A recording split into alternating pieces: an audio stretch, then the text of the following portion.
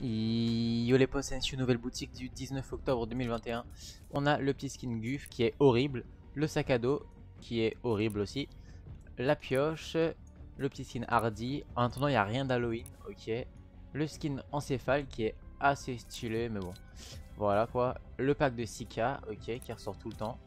Euh, le skin de Sylve, ok, qui est vraiment horrible. Le skin Delirium, qui est un skin d'Halloween, mais ils l'ont pas sorti dans la boutique d'Halloween. Le revêtement étiquetage qui est horrible. Des petites danses, ok, ok. En bas, on a tous les packs DC Comics, ok, qui sont plus rares. Le skin squelette, après le reste, je crois, on connaît, c'était là hier. Euh, ce pack, les footballeurs, les squelettes, les ghouls. Et du coup, le nouveau pack qui vient de sortir aujourd'hui.